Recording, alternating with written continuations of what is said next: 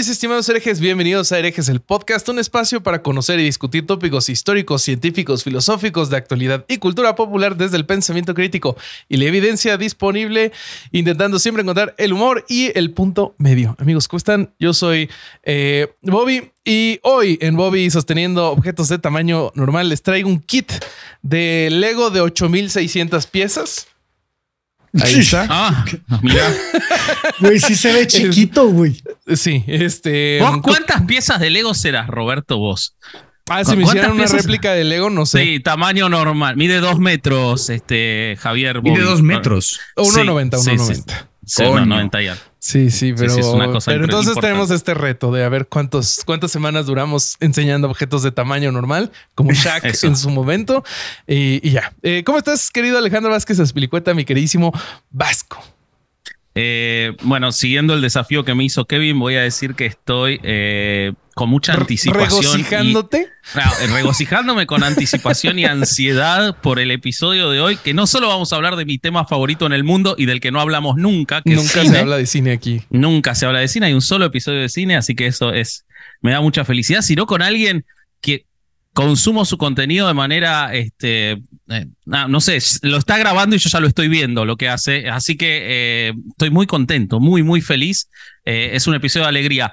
Suscríbanse, suscríbanse en el canal de Herejes el Podcast. Estamos cada vez más cerca del objetivo. Eh, desde que empezamos esta campaña aumentó mucho y muy rápidamente, así que les agradecemos un montón, pero todavía hay más de 40% de la gente que nos ve que no se suscribe, así que por favor rompamos esa barrera, suscríbanse que nos ayudan un montón, así aumentamos y llegamos a nuestros 100 mil.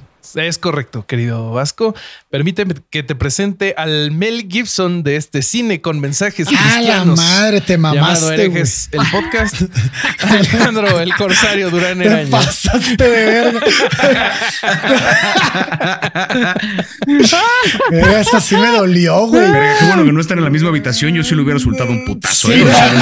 se pasó de verga, Pero, a ver, si, si Mel Gibson fuera mexicano, sería de Tampico. De Tampico de Monterrey, o sea, andaría por ahí, o sea, de Puebla, o sea que no. Ya, hubiera, ya, hubiera, hecho una película de ovnis, güey, ahí en la playa. Es verdad, es verdad, es verdad. Pedos. Pero bueno, yo estoy muy bien, mi querido Bobby. Este, un saludo a todos y, y muy, muy emocionado porque, porque vengo como, sí vi películas, pero vengo en ceros, güey, porque yo no entiendo así como que son ustedes el cine. O sea, tú viste películas y te divertiste. Sí, sí, yo vi películas y me, y me, encula el tema porque sí es, sí es algo que, que hemos platicado a veces con unas cervecillas o a veces aquí cotorreando algunos otros temas, pero sí, este, el tema de hoy me, me, me llena de emoción y el invitado, todos consumimos su, su, este, todo el producto que genera en redes y, este, y, y más cuando habló de Last of Us, yo lo amé. Y bueno, pues, este, pues, ¿qué más? Pues dale, güey. Ah, espérate, el merch, ¿no? Voy a hablar del merch. sí, sí, sí, sí. Del merch. Tenemos. Se supone no, que no tenés que decir de qué hablar, no, sino que no, suene orgánico. Pero sí sea, mejor la cuando digo es que esas mamadas. orgánico, no que nos preguntes. Pero está bien. Hablando está de bien. transiciones, tenemos tenemos playeras, este, tres modelos, ya los conocen. Si no los conocen, váyanse a www.chunchos.mx y bolsas y tazas y así. Dale, Bobby. Es correcto. Muy bien, Corsario. Qué orgánico te salió, eh. Sí, hay gente que iba a comprar y no va a comprar No, después ya no va a comprar. hay, hay gente que canceló la compra mientras, mientras él la hacía. Bueno, presentemos ahora sí a nuestro invitado. Miren, si, si, si usted no lo conoce es porque vive abajo de una piedra. Eh, él ha sido profesor, eh, pero también lo, conoz- lo conocemos por trabajo de actuación, eh, de stand-up y más recientemente eh, porque nos da las noticias de eh, Hollywood, de películas. eh, ha cubierto, cubrió los Oscars recientemente. Tenemos a Javier Ibarreche. ¿Cómo estás? ¿Cómo está, manda? Eso. Ahora sí, formalmente, la presentación. Está muy bien, está ¿Cómo muy bien. Javier? Muy bien, sobre todo porque, eh, digo, desde que me habían escrito, porque digo, esto lo hablamos ahorita fuera de, de grabación, pero llevábamos rato tratando de armar este, Sí. Sí, este episodio. Y desde que me dijeron, es que queremos hablar de películas que tengan que ver con religión, a mí el tema desde el principio me prendía, pero más ahora que ya me, ya me eché en contra parte de la comunidad cristiana por no haber hablado de Sound of Freedom, más ganas tengo yo de hablar ahora sí de, de- Dios de este bonito tema en el cine. No te, No te preguntamos, ex profeso, eh, cuál era tu vínculo con la religión antes de empezar, porque realmente nosotros no nos metemos con las creencias particulares, sino con, con este tipo de cosas, ¿no? Con cómo se usa institucionalmente y todo eso.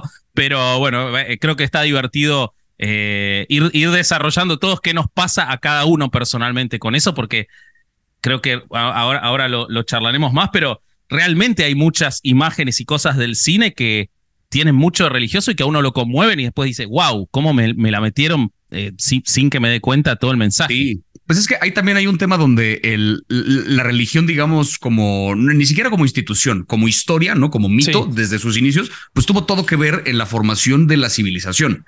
Claro. al final de cuentas, en la medida en que una comunidad cada vez más grande de gente creía en la misma historia, independientemente de cuál fuera esa historia, lograron organizarse para construir ciudades y templos y ahora sí que buena parte del por qué estamos donde estamos tiene que ver con que la religión pasó por el mundo en algún momento. La historia de la filosofía y la historia de la civilización tiene todo que ver con la religión. Pero ya estamos en un punto de la humanidad en la que pues eso ya tiene otras connotaciones, ¿no? O sea, ya, ya pues, estamos en un punto en el que podemos como cuestionarnos un poquito más el, a ver, si hay un señor invisible en las nubes, o sea, podemos como ya en, los específicos, ¿no? Rascarle un poquito más. Totalmente. Ya, hay tantas amalgamas sociales que esa ya podemos como que revisarla completamente y tirarla a la basura si no nos interesa. Exacto.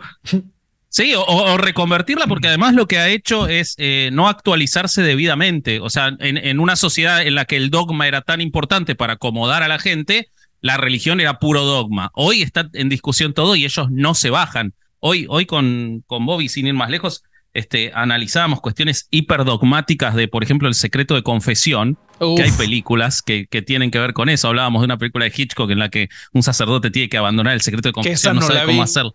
Pero eh, eh, em, esos dogmas ya quedaron desactualizados, pero ellos insisten porque es lo único que tienen, porque si uno rasca, como dice Javier, te vas de los dogmas, no pueden coexistir el razonamiento y el dogma. Ese es el gran problema que tienen hoy, ¿no? Sí, hay por eso, eh, no, sé si vieron el documental este que salió del Papa, el documental de ah, Amén Francisco Responde. Lo acabamos de revisar en Twitch, hijo de la madre. Me pareció un ejercicio fascinante de, documental, más allá del tema religioso, porque o sea, si es una cosa un poco histórica que de repente el Papa diga, órale va, me voy a aguantar las preguntas que me tienen que hacer. Totalmente. Eso está muy cabrón, eso está muy cabrón. Y bajó y escuché además morros. Con, con, con, adolescentes, ¿no? Que, que mucha gente podría verlos como para abajo, sobre todo eh, que incluyeron eh, personas de diferentes lugares y, hasta personas LGBT, que antes hubiera sido, ¿cómo vas a poner personas LGBT con el Papa? No, jamás. Pero que fue justo como un gran intento de la iglesia, porque a final de cuentas por muy independiente que sea el Papa, la iglesia tiene que avalar el órale, señor, participa en este documental. Fue un, intento muy arriesgado de decir, actualicémonos.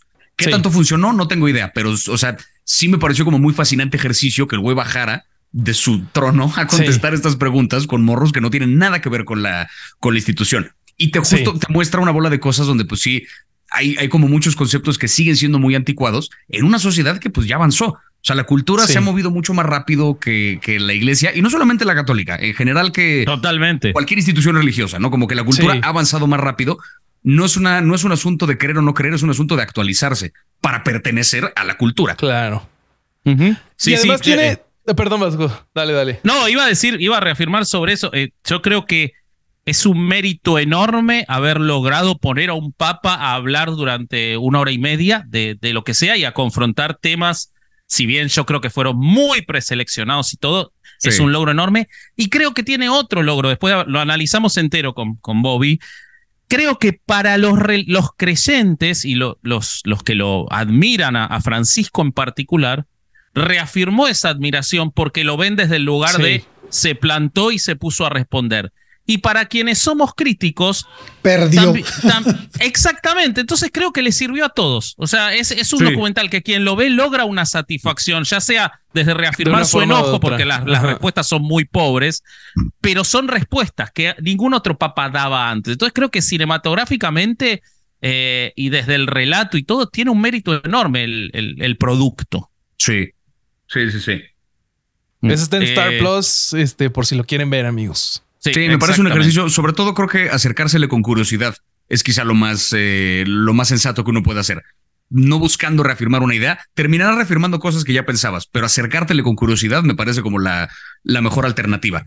Sí, sí, sí. Además de que está bastante ligero de ver, o sea, a mí se me hizo entretenido fuera del mensaje. Sí sí sí, sí Las caras de constipado de Francisco. Presten atención a las caras de constipado de Francisco, de cómo parece que necesita un baño por momentos. Sí, es como mm, se, se, aprieta un poquito, pero es que hay, un momento donde sí lo ponen en jaque bien cabrón, donde este güey que le dice, pues yo cuando era morro, a mí me pasó esto cuando yo era monaguillo y, o sea, y qué pedo, te escribí una carta y no pasó nada. Y que le dice Francisco, no te preocupes, yo me voy a asegurar de que sigan el caso. Y fue como de, ok, qué padre que va a hacer eso, pero ¿por qué tiene un culero que venir a Roma a darte esta carta en persona para que hagas algo y no solamente sucede? Sí, eso es... O sea, sí es una parte en la que el güey de repente, uy, ¿por qué sí, sí, totalmente. Pero y además es algo que confirma muchas otras veces que, que sacerdotes como el padre Ati en su momento con el caso Maciel dijo, yo llevé las cartas, llevé todo y no me hicieron caso. O sea, se confirma eso. totalmente. Está bien cabrón, la neta. Pero es que además, ya, ya, nos estamos yendo a, otra cosa, pero tiene que ver con tiene que ver con la construcción del discurso tema, querido documental. No, pero, pero cierro esto. Eligen a alguien del Opus Dei que es con alguien con quien Francisco tiene pelea en este momento. Pudiendo haber elegido cualquier otra orden de las cuales él es favorable, en las que también hay abuso, eligieron al Opus. O sea que si bien genera incomodidad, le sirve para pegarle un palo al Opus. O sea, todo está muy utilizado eh, y muy bien puesto en ese documental. Nada es accidental. Incluso cuando la pasa mal, le sirve. Y eso me parece maquiavélico, pero muy bien construido. Pero bueno, eh, yendo a eso, a maquiavélico, pero muy bien construido, hoy vamos a hablar de cómo eh, el cine y la religión se han interrelacionado desde los inicios del más maravilloso arte. Eh, Callate Durán no es la música, es el cine. El más maravilloso arte. Eh, para transmitir mensajes, ya sea favorables o críticos, pero desde los relatos cinematográficos. La única vez anterior que habíamos hablado de cine en herejes, habíamos hablado de cine y manipulación y habíamos hablado en términos más amplios y generales de cómo el cine se utilizaba muchas veces para transmitir discursos políticos. Esta vez nos vamos a enfocar en lo religioso y no tanto en cómo se utiliza para transmitir, sino en la interrelación que hay entre los dos. Para dar una, un inicio a la conversación y una, un ejemplo, yo volví a ver este, este fin de semana para preparar el episodio una de mis películas animadas favoritas, pero que nunca la había visto con esta mirada que es El Príncipe de Egipto. El Príncipe de Egipto, mm. para quienes no la hayan visto, la película es del año 98, es una maravilla absoluta. Eh, tanto desde lo que es la animación, la música, eh, el casting de voces es, se te caen los pantalones con el casting de voces, es una cosa impresionante, pero es una película profundamente propagandística política, eh, religiosa. Y a mí me llamó la atención porque eh, la película El Príncipe de Egipto, que cuenta, relata los primeros 12 libros del Éxodo, es decir, la, salida de, la, salida de, los judíos eh, con la guía de Moisés de Egipto hasta el cruce del Mar Rojo. Ahí ese, es el relato. Si no la vieron, le estoy spoileando una película del 98. Les estás spoileando la Biblia. jódanse, claro. También, o sea. y Además, son así, o sea. ya, no se sabe, ya nunca se sabe cuándo se puede, hasta cuándo se puede spoilear, pero eh, cuenta hasta ahí. Y lo que me pasó con la película, que es hermosa, es que la película está producida por Spielberg, Katzenberg y, y Geffen, que en ese momento eran los tres dueños de eh, DreamWorks Animation. Es la segunda película apenas de DreamWorks Animation, después de Ants. Y Spielberg, muy poquitos años antes, había hecho la lista de Schindler. Y me puse a confrontar las dos películas y lo que noté es que esta es una película propagandística del judaísmo, a diferencia de la lista de Schindler. La lista de Schindler es una película para reafirmar revelar para quien no lo sepa, poner eh, de manera muy cruda y de frente el horror de lo que se cometió contra los judíos. En cambio, El Príncipe de Egipto es una película en la cual se selecciona muy cuidadosamente y quirúrgicamente, les diría, los elementos para revalidar al judaísmo como religión, incluso hoy. ¿Y por qué digo esto? Porque, por ejemplo, el personaje de Miriam, que es la eh, hermana de Moisés, en la Biblia, en el Éxodo, como Miriam le habla mal a Dios de la esposa de Moisés, Moisés, eh, Dios le da lepra. Así, le dice, bueno, a partir de ahora no me gustó lo que dijiste, tenés lepra. Esas cosas, por poner un ejemplo, convenientemente en la película no están. Y Miriam es feliz y no se le caen brazos. Entonces, eh, así hay muchos elementos en los cuales se le baja la intensidad a ese Dios tan crudo del Antiguo Testamento y toda la carga negativa está puesta sobre los egipcios. Entonces, yo lo que quería marcar, como para dar un inicio a la conversación, seguramente hay mil películas en las que pasen estas cosas, es como en una película infantil muy bien hecha, en la que se pretende contar una historia de aventura, si se quiere, en realidad se está haciendo mucho proselitismo, que me parece bien, no estoy juzgando el proselitismo, estoy diciendo que ocurre. Eh, a diferencia de otra del mismo creador, con que uno podría en lo superficie entender una misma temática en la cual el concepto que está detrás no es otro. Entonces, eso es lo que queremos ver en el episodio de hoy. Estas ideas de cómo se lleva la religión en el cine, a veces muy in your face, como en La Pasión de Cristo, en la cual Mel Gibson no, no escondió nada, y otras más disimulado. Sí, pues a veces no se deja de la sutileza, o sea, también ese señor este... y a veces a favor y a veces en contra, ¿no, Vasco? Sí, sí, a veces a favor y a veces en contra, ¿no? Tenemos un montón que son en contra, pero eh, yo, Javi, quería empezar preguntándote, bueno, que, si tenés ejemplos de esto, si recordás esta película en particular o lo que sea, y, qué te ha pasado a vos alguna vez con estas películas religiosas, ¿no? A mí me, me gusta que hayas puesto este ejemplo particular porque creo que de lo que yo recuerdo haber visto en mi infancia, quizá es de las primeras, si no es que la primera película de carácter religioso que, que yo llegué a ver. Coincido contigo con lo que dijiste al principio, como película animada es una absoluta obra de arte. O sea, de hecho, a la fecha me parece un poco un crimen que no es una película más recordada y más celebrada como, como, logro de, la animación. Totalmente es como de culto, como más chiquito. ¿no? Exacto, como que es una película que no, no es tan conocida, digamos, a nivel popular, a pesar de que fue una película muy celebrada en su, en su momento, pero sobre todo hoy en día, más aún con todo esto que está haciendo Guillermo del Toro a nivel mundial por la animación, ¿no? Como moviendo un poco la causa de que es un medio que sirve para contar historias y no un género en sí mismo. Esta película es un gran ejemplo porque si bien la puedes ver de niño, tiene como este carácter universal donde solo es una buena película, es una historia bien contada. Y hay una razón por la que parte de la Biblia, que pues, o sea, no es de a gratis que sea un bestseller ese libro desde el inicio de los tiempos. O sea, hay una razón. Al final sí hay una construcción narrativa que funciona en varios de sus pasajes. Caso ejemplo, lo que vemos en esta, en esta película. Pero a mí, por ejemplo, el, este tema, digamos, de, del judaísmo al catolicismo, cristianismo, además al islam, que digamos que lleva como una línea una línea histórica donde como que están los judíos y de repente se desprende otra cosa que tiene que ver con el cristianismo y de repente años más tarde se desprende otra cosa que tiene que ver con el islam, donde todos un poco creen en la misma fundación, pero eventualmente creen que alguien tergiversó el mensaje, ¿no? Y adaptan su propia versión de lo que ocurrió. Es muy curioso porque yo de morrito, habiendo visto esta película, no tenía clara esa división. Entonces yo viendo una película en la que la gran fuerza, digamos, que hay de por medio es Dios, pues yo como un morrito que creció en un ambiente católico, yo pensaba, ah, pues sí, ¿no? O sea, no, en, ningún momento lo vi como ningún tipo de propaganda pro o anti judaísmo, porque pues yo ni siquiera me pasaba por la cabeza la idea de que el personaje fuera eso, ¿no? O sea, como que yo, no, sabía si hasta tiempo después. Es mi Dios, decías. Es el Dios que me está sí, sí, pues es el mismo, ¿no? O sea, como que yo es decía, el mismo. Este es el que me enseñaron que existe. Que de hecho lo es. No lo es, pero lo es. Este, Sí que no, porque digo, el Dios del Antiguo Testamento es bastante más inclemente y bastante más vengativo que el del Nuevo Testamento, que ya predica todas estas otras ideas que tienen que ver con el perdón y demás. Totalmente. Sí, sí, sí, sí. Eh, que quizás en la Pasión de Cristo, por ejemplo, se lo eh, Bell Gibson, también exprofeso, hace lo contrario, ¿no? Lo pone no más inclemente a Dios, pero sí más inclemente al Antiguo, al Nuevo Testamento de lo que es el libro. O sea, le agrega gore Sí, en, el libro no está, en la Biblia no está el gore que Mel Gibson le pone en, todo el relato de Jesús. o sea, hace, quizás lo contrario. Pero eso a mí me parece muy extraño que lo hayan hecho también en una película que quieren promocionar o darle fuerza al judaísmo, ¿no? Porque el Dios, el Dios eh, buen pedo, o el Dios que perdona, el Dios que, que no inunda lugares y quema gente, güey, pues no es el Dios de los judíos, güey. Entonces ahí es más. No, de hecho lo muestran, o sea, lo muestran. Se encuentra, más, se encuentra más en una. O sea, a mí me, me brincaría más encontrar una, en una película cristiana este Dios buen pedo, este Dios que perdona. El Dios que castiga es más ese Dios antiguo, ¿no? Es el. Y, y, sí, obviamente lo van, a, lo van a mostrar, pues es el éxodo, ¿no? Lo que se muestra en, Esa, en esa película.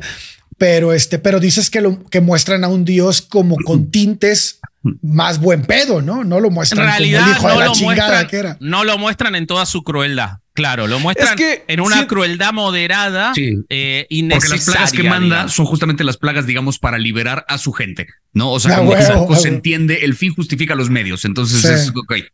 Es decir, Sí. justo creo que seleccionaron de las historias posibles que tenían para elegir una en donde, ok, el, eh, Dios sí está eh, agrediendo, ¿no? Sí está matando y mandando plagas, pero es porque se lo ganaron, ¿no? O sea, había ciertas condiciones, libera a mi pueblo, ah, no lo liberas, te mando estas plagas. Exacto. Y ahí también sí, hay sí. otro, eh, con esa película en particular, eh, o sea, está hecha por, ¿qué dijiste? Spielberg, eh, Katzenberg, y y Geffen. David Claro. Geffen. O sea, justamente son, digamos, cineastas muy importantes, todos ellos judíos, y es que eso tiene que ver con que a la fecha, habiendo pasado cuántos miles de años desde que existe esa religión, hoy en día sigue siendo como una comunidad más allá de la creencia. ¿no? O sea, incluso digamos, judíos que no practican la religión Montones. directamente, que no son ortodoxos y que aún así se consideran a sí mismos judíos como si fuera una etnia, como si fuera, porque un poco lo es, ¿no? O sea, que como que Es una forma de vivir. Ajá. Ajá, culturalmente sí hay esa parte donde no, no son, o sea, tú ves un hombre blanco en Nueva York y de repente es un, no, no, yo no soy un hombre blanco, soy judío, ¿sabes?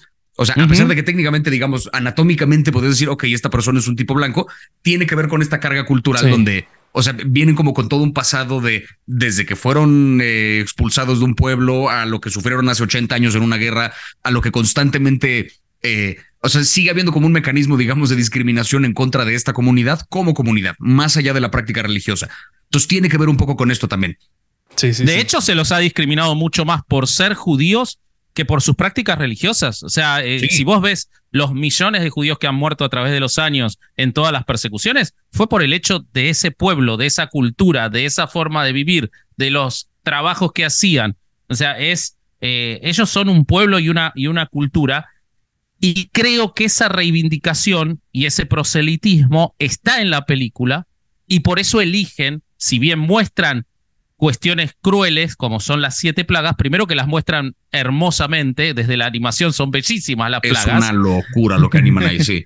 eh, sino que además eligen estrictamente lo necesario que es reivindicado por el pueblo judío en, en, las- en las fiestas, es lo reivindicado, digamos, del éxodo. Pero yo lo que, lo que digo es, eligieron no mostrar las crueldades que también ocurren en el éxodo, que no tienen que ver con esa liberación, sino con otras cosas de ese Dios que no aceptaba que se le critique y que todo lo que sabemos, ¿no? Cuando este, por, por algo termina en la apertura del mar muerto y no sigue en el desierto, que es cuando eh, Dios se enoja porque están adorando al becerro y todas las cosas que ocurren después, ¿no? Sí, sí, sí, sí, sí.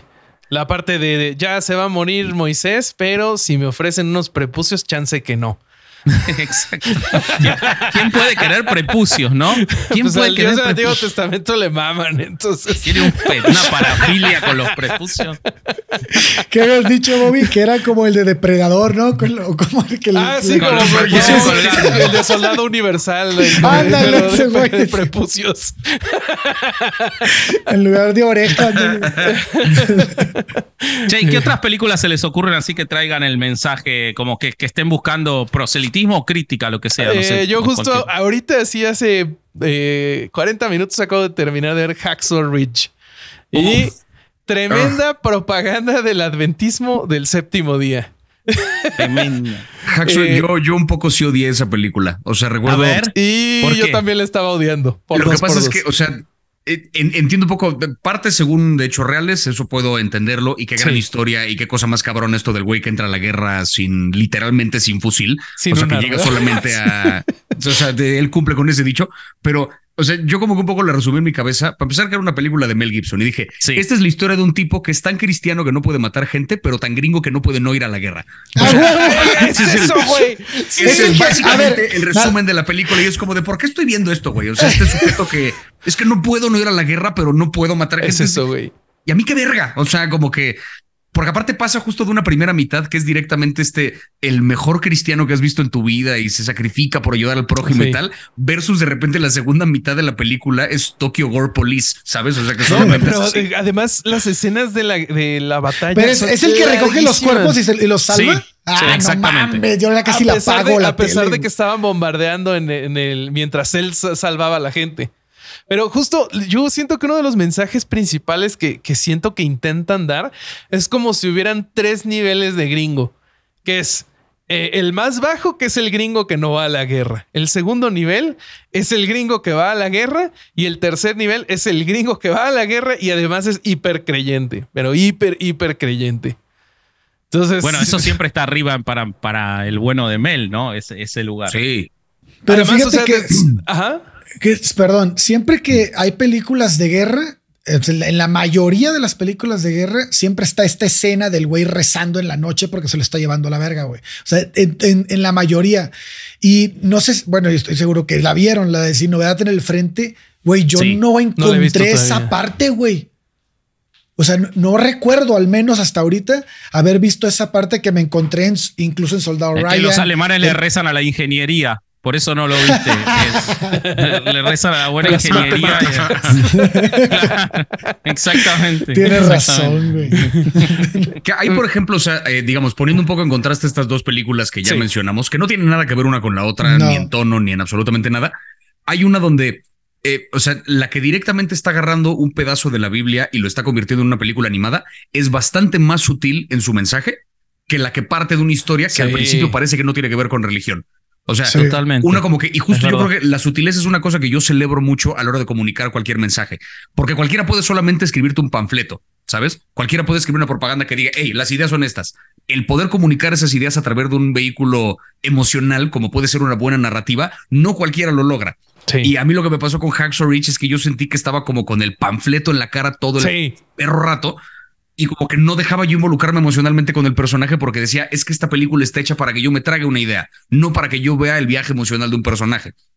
No, y Claro, el relato está en un segundo plano como relato en sí mismo por, por debajo de la intencionalidad política religiosa de Mel Gibson, ¿no? Que, me parece, parece no tener ningún interés en ser sutil. Yo creo que él hace un. Él hace un. Eh, digamos, e-, exhibe en exceso su desinterés por la sutileza. En cualquiera de sus películas uno puede ver cómo te quiere dar el mensaje y que te quede claro, que te quede claro que hay que la vida es blanco y negro para él. Y él lo ve en ¿Sabes en dónde se nota muchísimo desde mi punto de vista? Él le dedica un montón de escenas a eh, comunicar el mensaje de que la religión y el cristianismo, sobre todo en, que es en esta película, eh, puede sustituir a un padre, porque pone al, eh, al, padre interpretado por Hugo Weaving, que mira, Dios lo tenga en su santa gloria, en su casita. Este, Está vivo, boludo. En su casita, dije. en ah, su casita. En la de Hugo, no en la de Dios. Que, le vaya bien y ya. sí, sí, sí, que le vaya no tiene por qué estar Nalgada deportiva. no, pero pues Hugo Weaving, que, que, se me hace que hace un papel impresionante. Eh, terrible padre, pero toda esa mala paternidad es sustituida por la religión. A eso le dedica un chingo de tiempo. Pero, por ejemplo, a los compañeros del ejército del protagonista no les dedica nada. Son personajes con un milímetro de profundidad. Son el malo malísimo que quiero que, que agarres un fusil y esa es todo toda la personalidad de todos los personajes del ejército. Sí, porque aparte también está este güey virtuoso que se lanzó también a, salvar a caídos del ejército enemigo, porque aquí el punto era eh, ayudar a la mayor gente que se pudiera. Cosa que te digo, cae como en una contradicción muy rara que la película no revisa y que hubiera sido fascinante que lo hicieran, que es, ¿para qué estás yendo a la guerra a salvar gente siendo parte de un ejército que estás, o sea, estás salvando a tus compañeros para que puedan seguir matando al ejército enemigo, pero también salvas a los del ejército enemigo para que puedan seguirlos matando tus compañeros. O sea, tú no vas a acabar con esta guerra ni es tu intención acabar con ella, solo estás yendo a, a poner como tu granito de arena ayudando. Pero no, no, no, Hay una pregunta más profunda que hacer de por medio que creo que no se atiende en la película. Sí, correcto. ¿No será que lo que nos está diciendo es que él no va a la guerra por Estados Unidos, sino por su Dios? Y para su Dios todos son iguales. Eso puede ser, sí, eso puede ser. Y por eso él rescata a todos, a él no le importa. Son seres humanos. Es que él, sí lo dice en la película que él. No la veo hace muchos años, la vi en el cine cuando salió. Es que yo la acabo de ver hace 40 minutos. Y, y, justo él sí dice que cuando pasó Pearl Harbor, para él fue personal. O sea, él sí ah, tiene como cierta mentalidad de, como de de esta que, que, retratan como de venganza de la Segunda Guerra Mundial, de, ok, yo voy a la guerra para pelear con los japoneses, ¿no? Para vengarme, para hacer mi parte. Pero sí desde el punto de vista americano, no desde el punto de vista de tan solo de voy a salvar gente.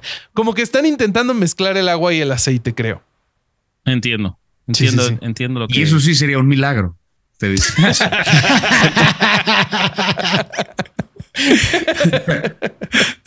Eh, lo, que está, lo que está bueno es que, eh, para, ir atándolo, ¿no? Pero el protagonista de Huxley Rich, para quien no lo haya visto, es eh, Andrew, Garfield. Andrew, Garfield. Que se ha reivindicado en nuestros corazones escépticos después de hacer esa propaganda horrible a una religión que aparte es horrible, como los adventistas del séptimo día, porque son que tenemos un capítulo y lo puede ir a escuchar. Sí, sí, sí, pueden ir a este. escuchar sobre los adventistas del séptimo día, pero por suerte hizo eh, la de por mandato del cielo eh, para pegarle a los mormones y, y qué lindo, qué lindo le pegaron a los mormones en esa serie, porque aparte le pegan a los mormones institucionales que quieren siempre salir exentos. Lavarse las manos, no hacerse los, de los últimos días. y es esa serie, al que no la haya visto, quiere ir a ver cómo se construye un relato, un relato de escepticismo, es esa serie. Pones a un personaje ultra religioso y lo pones a enfrentarse contra su propia religión, en las reglas de la religión, no en la corrupción de la religión, en las reglas de la religión, y, lo vas destruyendo al personaje. Y me parece ¿La viste, Javier? a mí me parece, o sea, e, es como una buena temporada de True Detective esa serie. O sea, como serie policíaca solita me parece un monumento. O sea, que son de esas que creo, sé que estuvo nominada a los Emmys, algunos en el año que salió.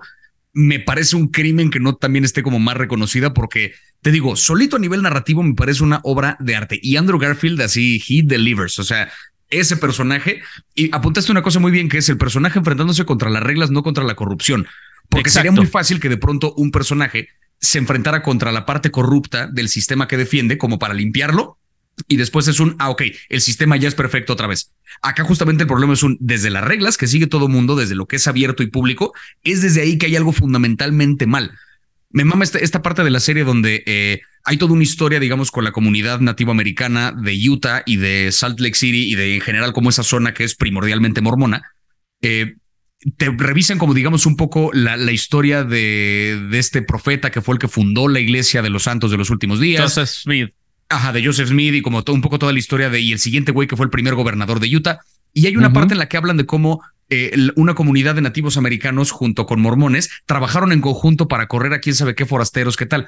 Y el detective que trabaja junto con Andrew Garfield, que él es un nativo americano, le dice a mí Extraordinario actor ese, no sé cómo se llama, pero es extraordinario. Es el de Yellowstone también, el, líder de los.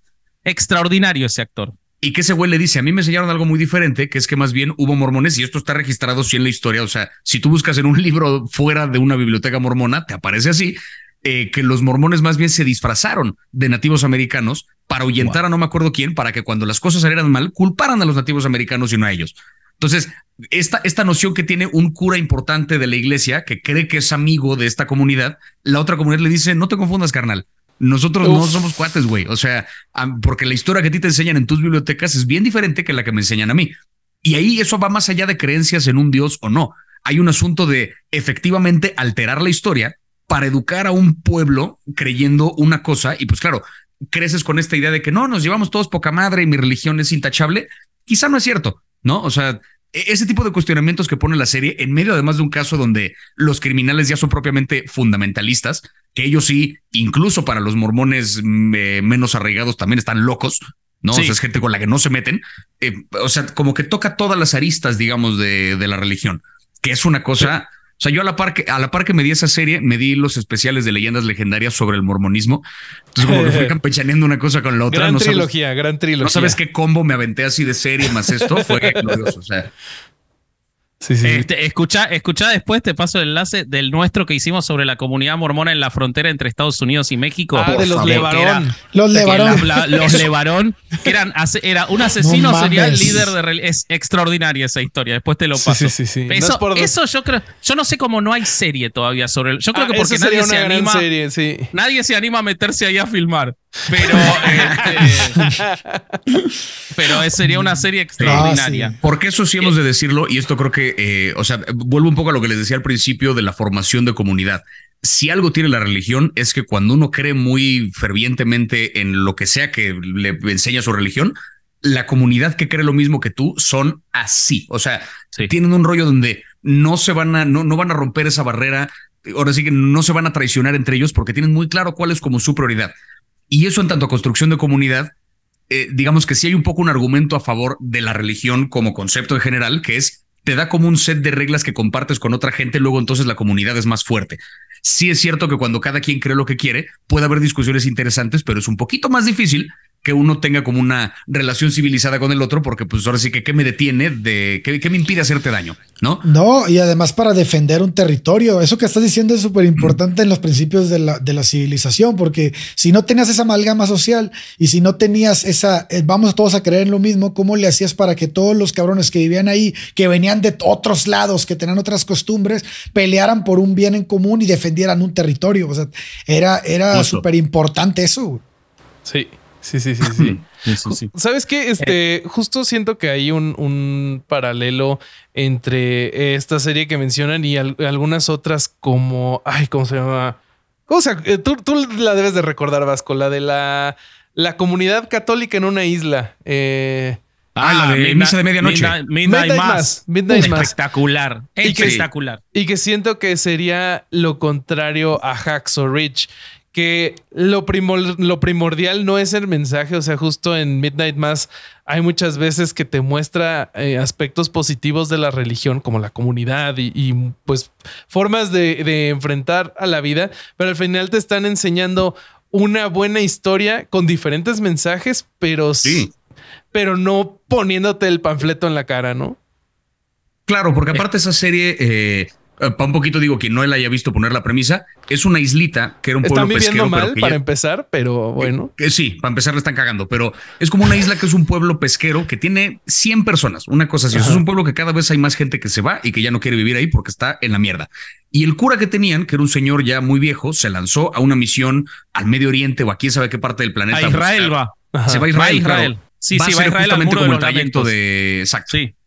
Y, este, y de repente nunca regresa, nadie sabe qué pasó con él, la comunidad se está descomponiendo y de repente llega a la isla un cura joven, carismático, que empieza a dar misas como que revitalizan un poco la, eh, la, la, religión dentro del pueblo, porque da sermones interesantes y habla de la vida, o sea, el güey es un auténtico filósofo desde la perspectiva nada más del cristianismo, pero es un, es un tipo que piensa y que cuestiona y que en cosa de nada empieza a practicar literales milagros dentro de esta isla. Una niña que no caminaba de repente se levanta dentro de la iglesia y pues coño, un pueblo que está devastado, que no cree en nada y que ya se rindió ante la vida, de repente ve un auténtico milagro suceder dentro de una iglesia.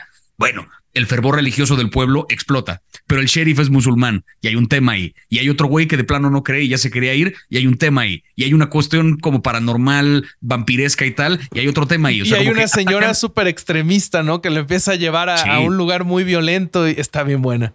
Pero que justo ahí el problema, o sea, es, son el pueblo y los individuos, digamos, quienes deciden sobre sus creencias y los que terminan provocando el mal dentro de esta comunidad. La serie deja muy claro que el problema no es en sí la religión, sino el cómo uno utiliza las ideas que tiene para eh. ponérselas a alguien más, para pasar su propio mensaje y para forzarle ideas. O sea, es el problema es el, digamos, la religión podría ser incluso vista como una suerte de herramienta.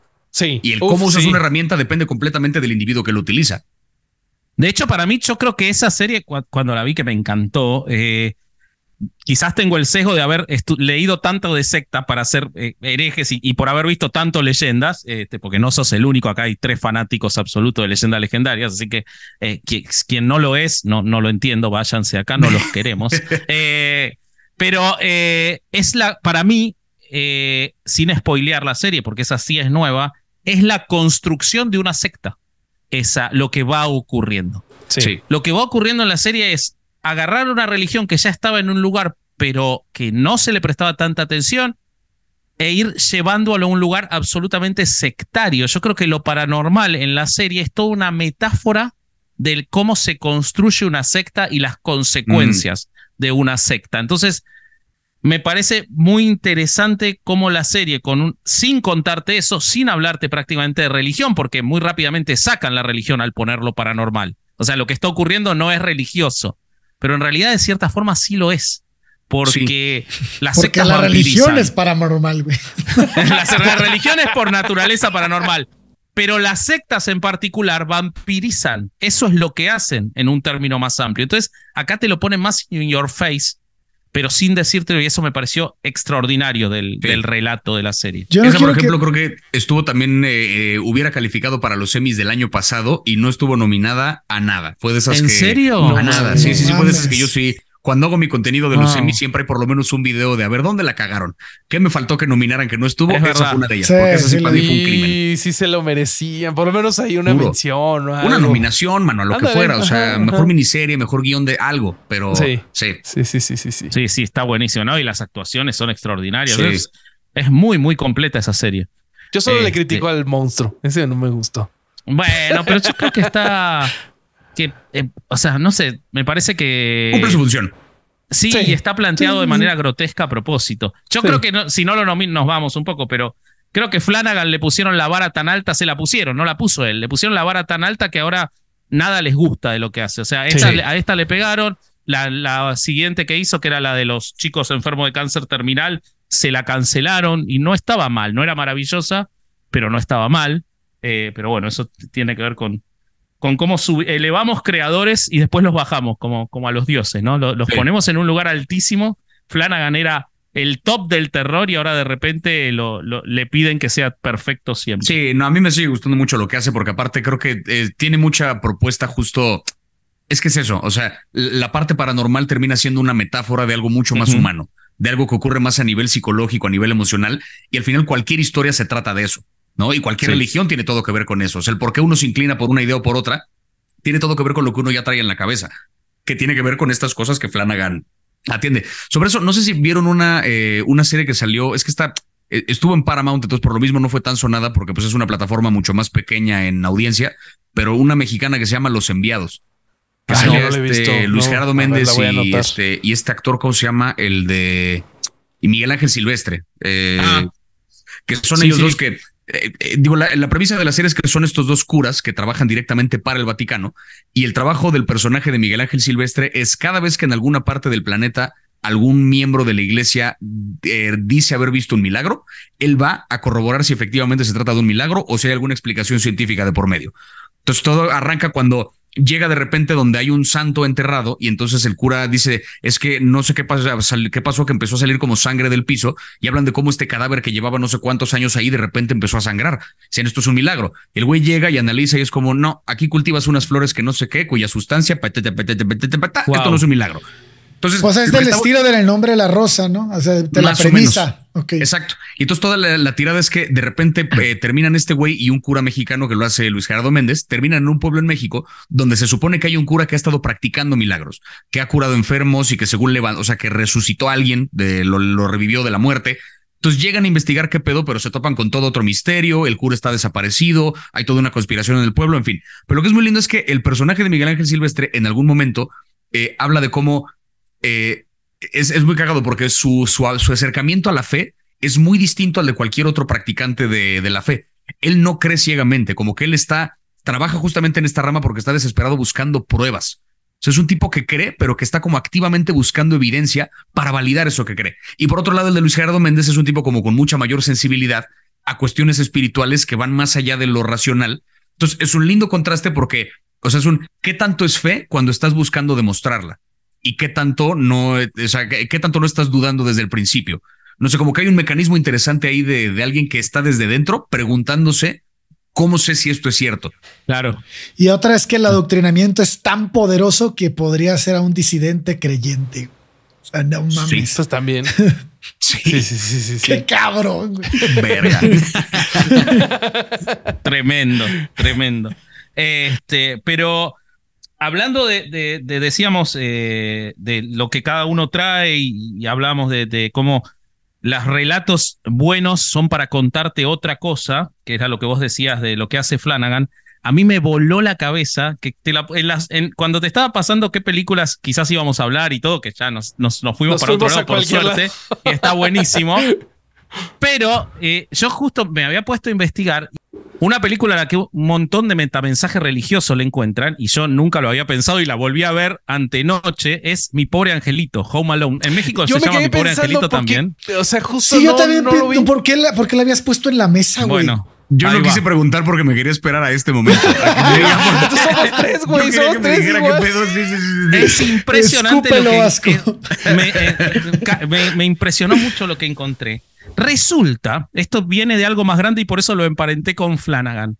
Resulta que John Hughes, el autor de Mi pobre angelito, que fue un gran director y guionista de los ochentas, hizo The Breakfast Club, eh, Pretty in Pink, em, eh, la de eh, Ferry Bueller's Days Off, o sea, mm. películas clásicos de los 80, de la adolescencia, de la rebeldía y de todo eso, y que escribió mi pobre angelito, era un tipo recontra conservador, hiper religioso, eh, súper republicano, fanático de Ronald Reagan, que en todas sus películas, estas películas para adolescentes y de, de rebeldía y de secundaria, metía sus mensajes este, religiosos evangélicos por así disimuladamente. De hecho, el tipo se termina retirando en el 94 cuando en Estados Unidos viene lo más fuerte de Clinton y de todo eso porque como que queda contracultural el tipo. Y yo mm. no lo sabía, yo he visto muchas películas de él cuando era chico, eh, pero nunca se me hubiera ocurrido. Y empecé a leer sobre el tema y empecé a encontrar que en todas sus películas, por ejemplo, The Breakfast Club, ¿la vieron alguna vez? La de los cinco adolescentes que quedan este, detenidos en, el, el la Club de los Cinco le llamaban en español. Exactamente, el Club de los Cinco, exactamente. Bueno, cada uno de ellos es una representación, de acuerdo con. de hecho, hay. Esto es, después les voy a pasar el artículo a ustedes para que lo vean y lo dejo en las, en las notas del episodio. Pero hay un sacerdote que en Estados Unidos que tiene un club de cine en el que da películas de John Hughes y después hace la misa analizando todos los mensajes de las películas. O sea, esto es algo conocido por los evangélicos.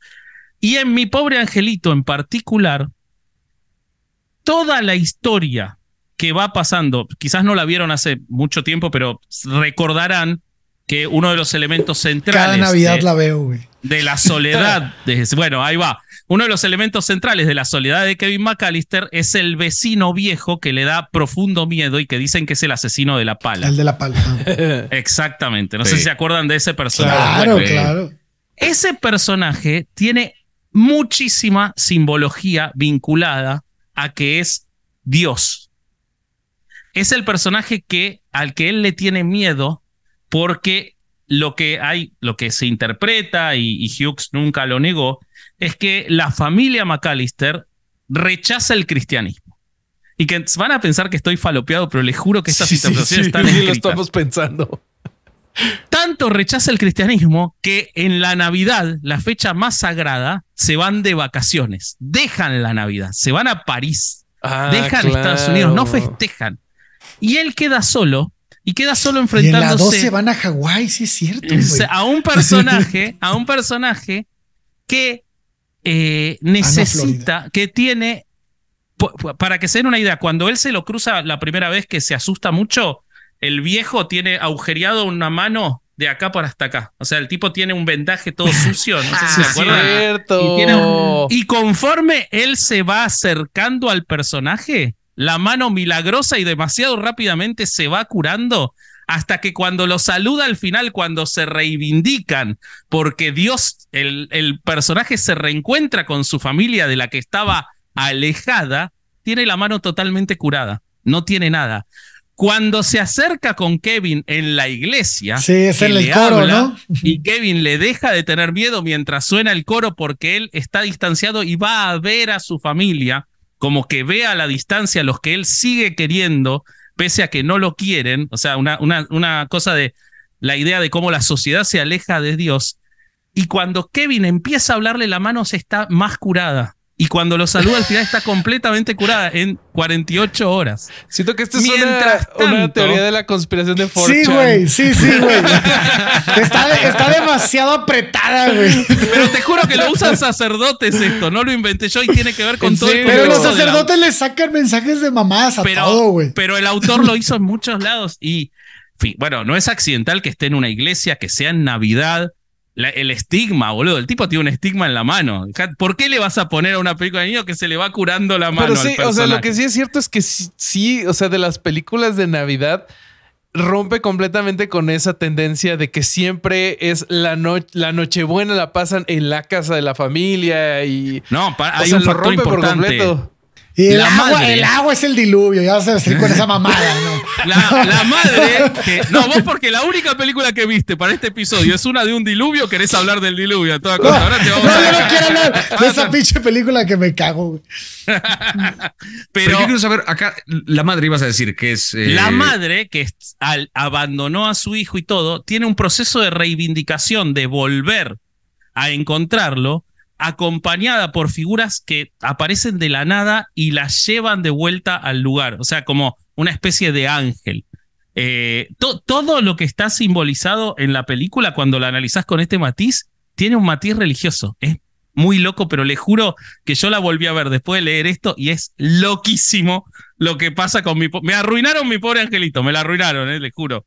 Me ha arruinado mi pobre angelito, pero es impresionante cómo. Que es con los músicos, ¿no? Es este artista gordito que se murió, ¿no?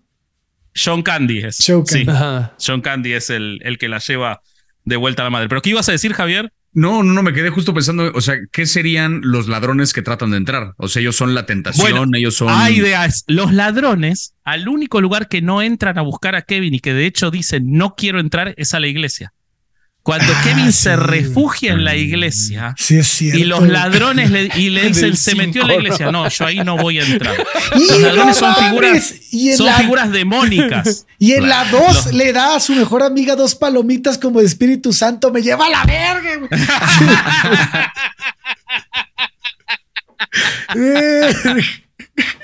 Ah, por eso Home Alone se traduce a mi pobre angelito. Ahí está la verdad. O sea, el verdadero título de Home Alone es el que es en español, entonces. Que me dijeron cretino toda la vida, claro. Sí, sí, sí. Nunca lo vi venir. Aparte, ninguno de los tres le preguntó a Vasco así de: ¿Estás seguro Home Alone? O sea, mi pobre.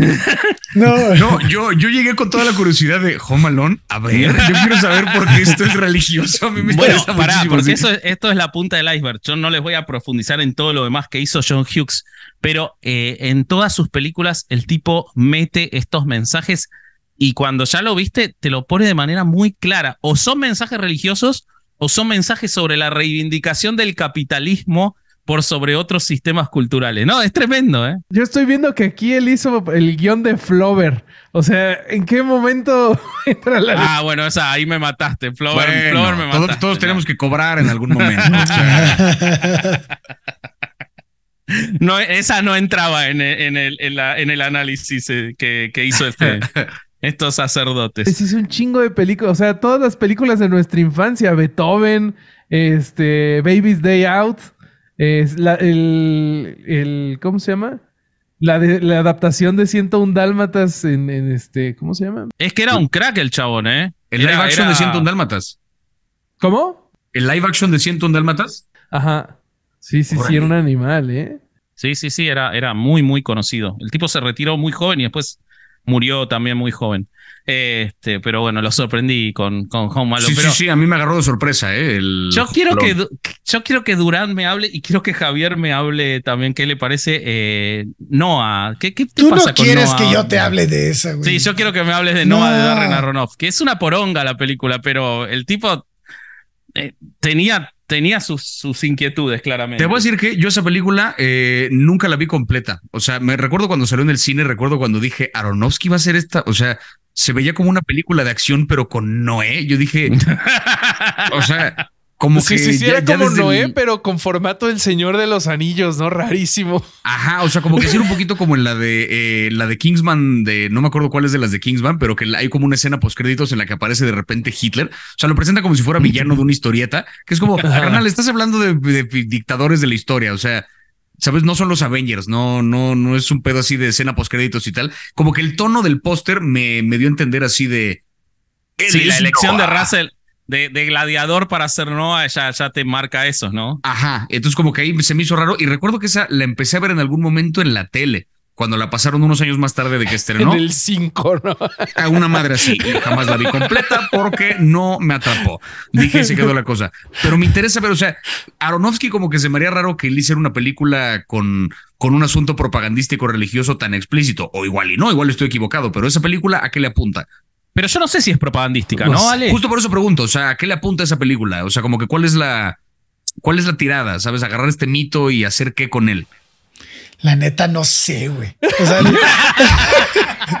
la neta no sé. Pero yo estaba como ansioso de decir, ¿cómo chingado le va a hacer este güey cuando la vi la primera vez para justificar este que, que vaya a poblar el lugar en donde esté con su hija y su esposa, güey? Sí, con pura familia, ¿no? Porque al final era pura familia, güey.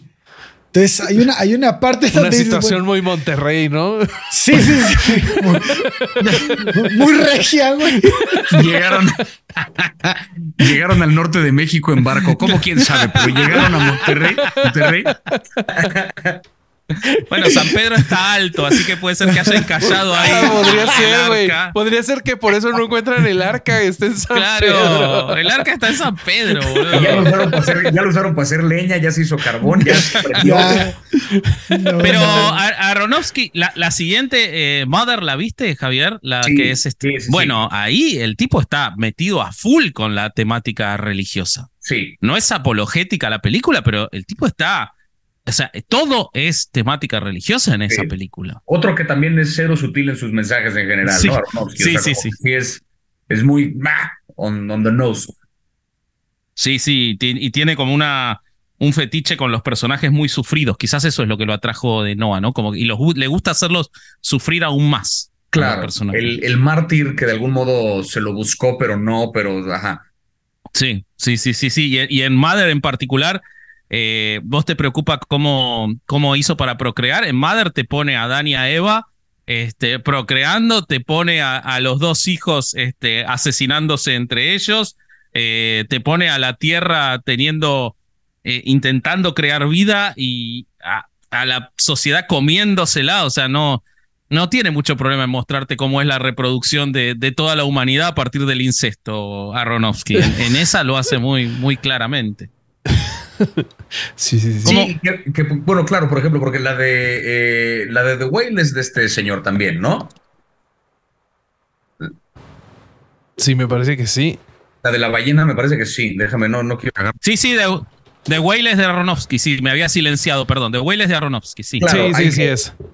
Eh, que ahí también hay un tema, sí es cierto, o sea, un, uno de los personajes, digamos, importantes es este como testigo de Jehová que llega a casa de, de Brendan Fraser constantemente tratando como de, eh, de convertirlo o de entenderlo o tal. Y que es muy cabrón porque como que parece tener como piedad por él o como que le da lástima, pero luego cuando se entera que el personaje de Brendan Fraser es gay, como que ahí sí lo sataniza. O sea, hay como un comentario ahí tampoco precisamente sutil sobre el rechazo que hay de parte de, de esta religión en particular hacia una cultura que pues tiene todo que ver con la realidad de hoy. ¿No? O sea, el personaje, buena parte de la película, digamos, del personaje de Brendan Fraser se odia a sí mismo por toda clase de razones. Una de ellas tiene que ver con que es gay y con este estilo Totalmente. con la sociedad y con el hecho de que su, el amor de su vida se quitó la vida precisamente por eso, por la presión que recibía de parte de la sociedad y de su familia. O sea, va más allá de un tema de, de gordofobia o no gordofobia la película, tiene que ver también con un aspecto religioso. Hay todo un análisis queer que se puede hacer de la película y tiene mucho que ver con el aspecto religioso. Es cierto, como Sí, que no he sí. hecho esa conexión, pero claro. Y el personaje, de hecho, si te acordás, bueno, perdón, vamos a spoilear de Whale. eh, Esta sí quería es ser, quería ser más religioso y la familia medio lo rechazaba eh, al, Sí. al testigo de Jehová. Ah, O, o no era testigo de Jehová, era como de una, como de una secta medio aparte, pero. sí, era, era eh, misionero en general. Sí, o sea, como y la, sí. la familia lo había expulsado por sus Mm. pecados y estaba la, otra, la hija que había estado vinculada. O sea, está todo eso. Y si vos ves, ahora me puse a pensar en Aronofsky, pero en Pi, el tipo tiene una obsesión religiosa en la pel- Claro. primera película de Aronofsky. Claro. O sea, la obsesión de el matemático por encontrar el número de Dios es una obsesión religiosa. El tipo está convencido de que es el número de Dios, Pi. Pero sí te, Cierto. y- y- y sí te parece que, que no, en la película de Noé intenta también dar este mensaje religioso. No lo sé porque la vi una sola vez, la odié. A mí, yo, la odié, yo la, vi dos veces gracias a ti, güey. Aronofsky me gusta, pese a que es así demasiado crudo, pero me gusta, pero no, no me gustó. Eh, y así que no me acuerdo. Por eso te la, te la di de tarea, la más fea. Pero es que, eh, no, pues ya sé, ya sé lo que hiciste, cabrón. Pero ve, lo que, a lo que voy es que yo no le encuentro a la historia, a la historia de Noé en, la película un tinte que te esté promoviendo algo religioso, pero creo que entiendo por qué hizo esa película, debido a que el mito del diluvio es un mito expandido por desde el paleolítico, güey. Entonces, el, neolítico hay muchas culturas que, hablaban de, de, este, de este volver a empezar, ¿no? De la gran inundación, que, que es la reactivación para el volver a empezar este, el, el, el este, la historia del ser humano, porque, bueno, estos güeyes creían en las, en las aguas primordiales, ¿no? Las civilizaciones creían que todos partíamos de ahí, incluso la tierra misma, ¿no? Entonces, este, como que siento que es una, una forma de contar esta historia desde un punto obviamente religioso, porque es la que más, la que hizo famosa esta historia, pero que a su vez intenta unificar todas las ideas de todos los pueblos que han existido a lo largo de la, historia de la humanidad. Entonces, probablemente por ahí va el mensaje, ¿no? ¿No, no creen? Porque está, el, está la niña esta que no podía tener hijos porque trae una herida en el, en el abdomen. ¿Se acuerdan que la recogen del, del agua? Y te mentiría. No te acuerdas. sí, sí, me acuerdo, me acuerdo. ¿No acuerdan? Bueno, ella no puede tener hijos. Este, ahí veo como él, la inundación es eso, la civilización no puede tener, no puede crecer, no puede, no puede que Eso lo repite en Mother. En Mother él vuelve a hacer eso, porque ah, en Mother también está el diluvio. En Mother está de cierta forma el diluvio también, y él también muestra esa imposibilidad o esa reproducción eh, perversa de la sociedad que ah, hay que limpiar. Eso me lleva a mí a que está hablando de un pedo más de historia de la humanidad que, de, que religioso, ¿no?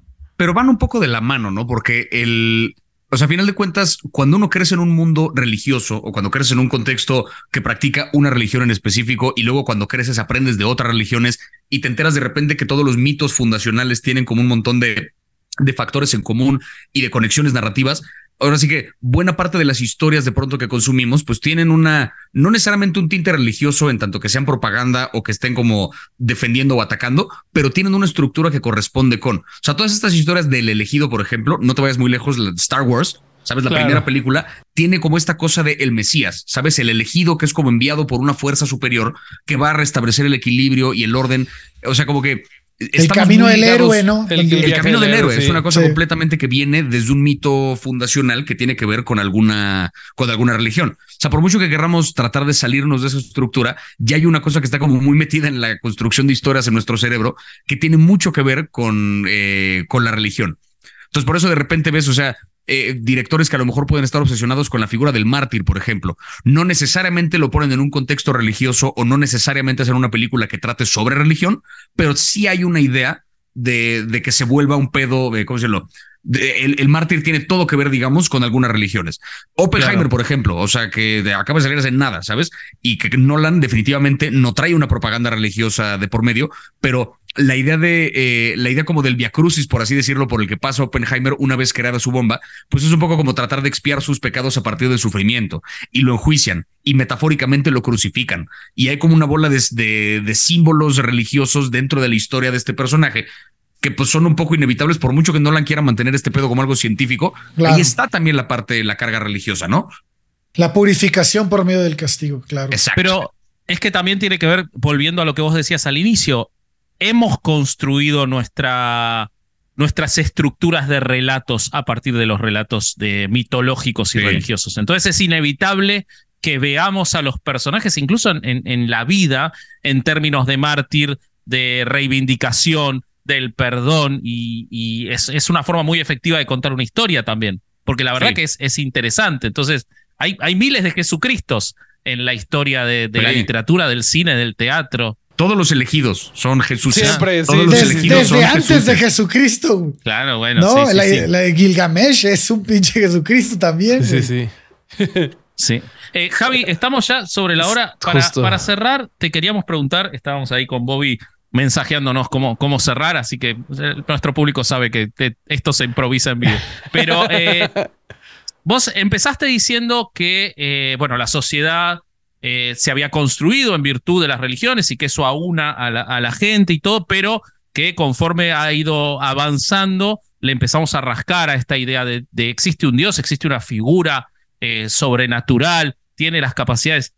Es decir, que vos tenés todo ese proceso de análisis y de pensamiento, lo has realizado, estás en el curso de hacerlo. Creo que todos estamos siempre en el curso de hacerlo, porque las respuestas no existen. Pero mi pregunta para vincularlo con el episodio y con lo que vos haces también siempre en tus contenidos es, ¿Tenés o podés identificar alguna película o serie que en ese proceso de pensamiento y de análisis crítico de lo sobrenatural, de, las deidades, del catolicismo, de lo que sea, te haya puesto a pensar después de haberla decir, wow, mira, esto, esto tiene sentido en, decir, che, eh, suena bastante ridículo la religión. Yo te, para ponerte contexto, a mí eso me pasó a los 16, 17 años con Dogma. Mi pobre de Kevin Smith. Ah, no. no.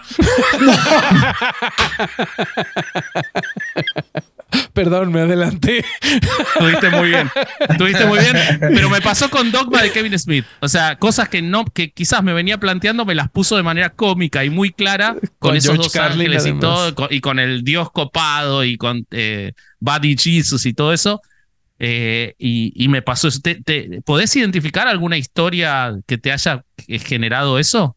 Creo que eh, no, no, fue como tal una película, pero yo recuerdo que, pues un poco como le pasa a muchos que crecen en un entorno eh, creyente, particularmente católico, porque pues digo, creciendo en México es como de lo que más hay, que uno ahora sí que creces con estas ideas, hice incluso mi primera comunión y todo el rollo, pero luego más hacia la adolescencia, pues es cuando entra como esta espinita de empezar a cuestionarte y de, o sea, creo que un poco pasa el qué huevo ir a misa, luego entonces el cura de ser un pendejo. Voy a pensar en todas las cosas del por qué lo que me está diciendo no tiene ningún sentido y ahí empiezas como tú solito a, a medio eh, volverte a lavar tú la cabeza para decir nada de esto es cierto. Pero creo que eh, yo tengo muy claro cuando, cuando escuché la rutina de George Carlin de los mandamientos, que arranca justamente con esta cosa de Dios de... Eh, eh, de este frente a todas las clases de bullshit, we have to stand in awe oh. in front of religion. Y todo este time champion. Porque dice que hay un hombre invisible en el cielo que te va y que tiene 10 reglas y que si no las cumples te va a mandar al infierno donde vas a sufrir por el resto de la eternidad y fuego, no sé qué, no sé qué, no sé qué. But he loves you. he needs money. Entonces ahí fue como una especie de clic de de repente decir, claro, o sea, como sistema, o sea, creo que más bien me empezó a pasar que empecé a separar como el aspecto religioso de la institución, a partir de un chiste, ¿no? Que creo que eso era muy valioso de la comedia de Carlin, que, coño, te ponía a girar la, cabeza eh, a la mayor revolución, donde empiezas de repente a distinguir el, una cosa es creer en un poder superior y otra cosa completamente es institucionalizar esa creencia para plantear, como decíamos hace rato, un dogma, ¿no? Cuando ya vienen una bola de conductas y de reglas y de cosas que hay que cumplir, nada más porque se da por sentado que hay que cumplirlas, creo que fue donde empecé como un poquito a hacer esa, eh, como esa distinción. Más bien me ha pasado que, digamos, yo en algún momento como que me, me tuve muy claro el, el, separar esas dos cosas, el decir yo particularmente no creo. No, no, soy, no soy un ateo militante que vaya por la vida activamente diciéndole a la gente, si crees eres un estúpido, porque al final a mí tampoco me consta. Totalmente. Luis sí que lo dijo también el mismo en un chiste, que eso no sabemos. O sea, ay, Dios no existe, ya buscaste en la cocina, o sea, no has visto, ¿sabes? O sea, como que no tienes idea de, de, de realmente qué hay y qué no. Pero creo que más bien, eh, conforme he avanzado, me ha pasado con historias como, como Midnight Mass, por ejemplo, donde empiezo más bien a cuestionar un poquito la línea entre el creer y no creer, entre lo que es real y lo que no es real. Y pasa mucho con las historias de Flanagan, donde habla de fantasmas. Ni siquiera te digo de un poder superior religioso y tal. Cuando Flanagan habla de fantasmas, si bien en la historia los fantasmas son literales, muchas veces ese fantasma es más bien metáfora de algo más profundo del ser humano. El mejor ejemplo de eso tiene que ver con Hill House. ¿No? Que es donde cada uno de los hermanos de esta familia representa una etapa del duelo y tienen una relación diferente con la historia de la muerte de su madre. Y los fantasmas que hay en esa casa y los fantasmas que ellos mismos van arrastrando son metáfora un poco de lo que ellos están sintiendo con respecto a esa pérdida. Entonces, si yo tengo una culpa muy grande, yo tengo un pasado que me duele, voy de algún modo cargando un fantasma. Crea o no en el ectoplasma y en este ser hecho de quién sabe qué cosa, traigo un fantasma, ¿sabes? Y eso, en el momento en que ese fantasma empieza a afectar mi, mi cordura o empieza de repente a meterse con lo que creo, lo que no creo, pues de algún modo existe, ¿no? O sea, como que hay una línea entre lo que es real y lo que es verdad, que son como dos cosas diferentes. La realidad es observable y demostrable. Lo que es verdad tiene más que ver con cómo uno lo percibe. Entonces, Como que creo que más bien, o sea, en, en, las historias que he visto que tienen que ver con lo paranormal y con lo religioso, cada vez me meto más en esta cuestión de a mí no me consta que hay allá arriba, creo que tiene más que ver como con una percepción. Quien me diga yo sentí a Dios, pues igual y sí, ¿sabes? O sea, entonces yo creo que si yo me como una dosis poderosa de psilocibina, igual y me pasa lo mismo. o sea, igual y veo en algo que yo digo, ¿sabes qué es que conocí a Dios? No, solo un hongo estaba en tu cabeza, pero pero, para ti fue real, ¿no? Pero para mí fue real, exacto. Lo que definitivamente sí tengo un poco atravesado eh, tiene que ver más con la institución y con el dogma, que es un rollo el abuso de poder, ¿no? Creo. Sí, porque es un rollo ahí donde, o sea, que la línea entre eso y una secta, pues es un poco endeble, ¿no? O sea, tú ves una cosa como la cienciología y dices, qué mamada.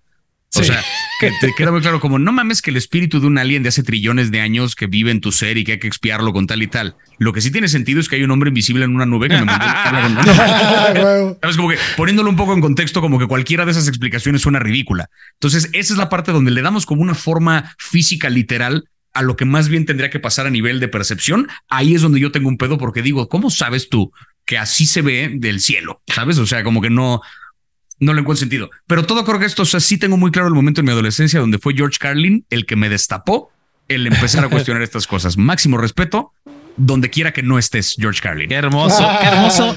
Y para quienes no lo hayan visto, tenemos un episodio entero sobre George Carlin, eh, en el que nadie contamos Toda, su vida. No, cada vez se ve más, ¿eh? Siempre hacemos el te acuerdas cuando salió? Sí, sí, no lo veía nadie. Un abrazo a Horacio Almada que nos acompañó en ese episodio, pero eh, toda la vida de Carlin es eh, un proceso para llegar a esa construcción intelectual tan fuerte y es apasionante. La vida de George Carlin es, este, es eh, una cosa increíble, increíble. Eh, pero bueno, Rob, eh, cerremos este programa. con eso hay que, hay que cerrar, ¿no? Sí, sí, sí, cerremos este programa. Eh, pero antes de cerrar, querido Javier, ¿algún proyecto que nos quieras eh, contar para que la gente vaya a seguirte? ¿Cómo te encontramos en redes sociales? si quieres vender algo, dale. Em, pues justo, bueno, aprovechando que hace ratito hablamos de Monterrey, ¿no? Y de cómo Noé ahí fue donde encalló y así sigue la historia. Este, para la banda de Monterrey, el 25 de agosto tengo mi show completo de stand-up en el Auditorio Río 70.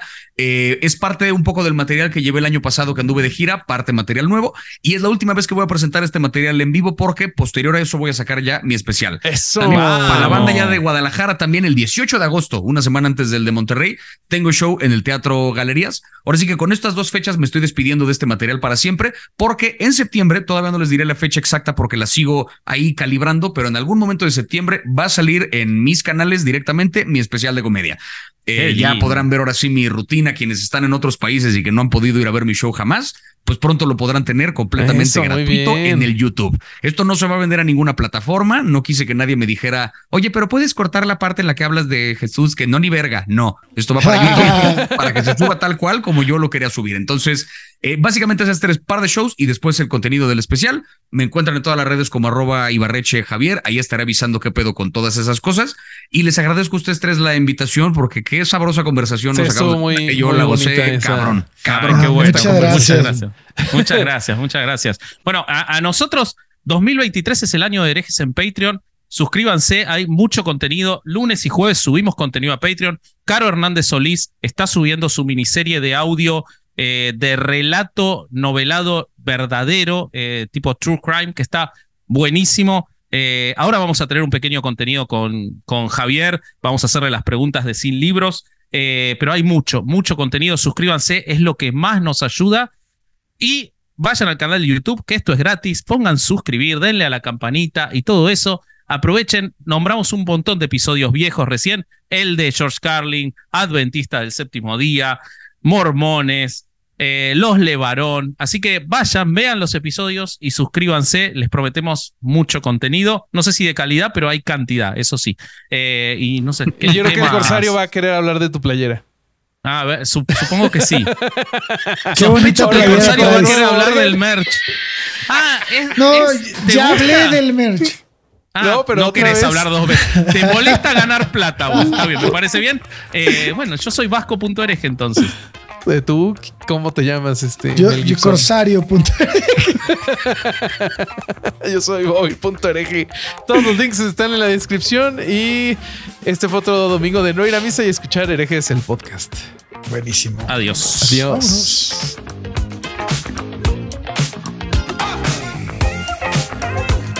Nos hicimos amigos de Lolo, nos agredió en el intro. Pato me manda esta hoja, güey.